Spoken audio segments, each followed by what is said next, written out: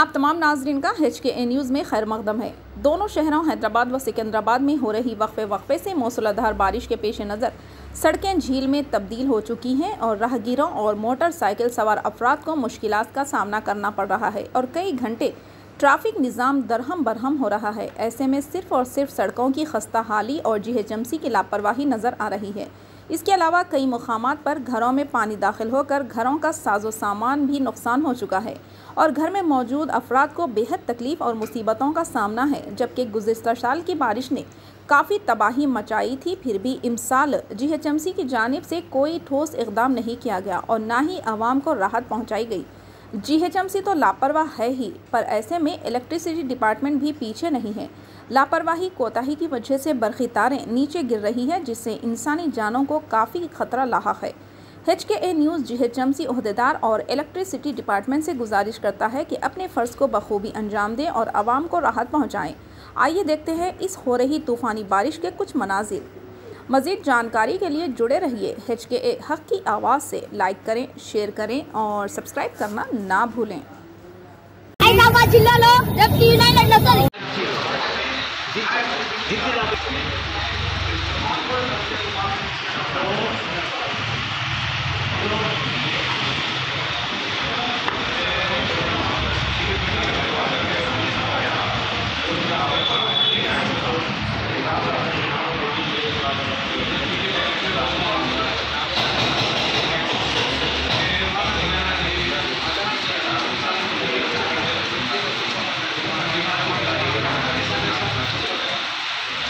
Thank you.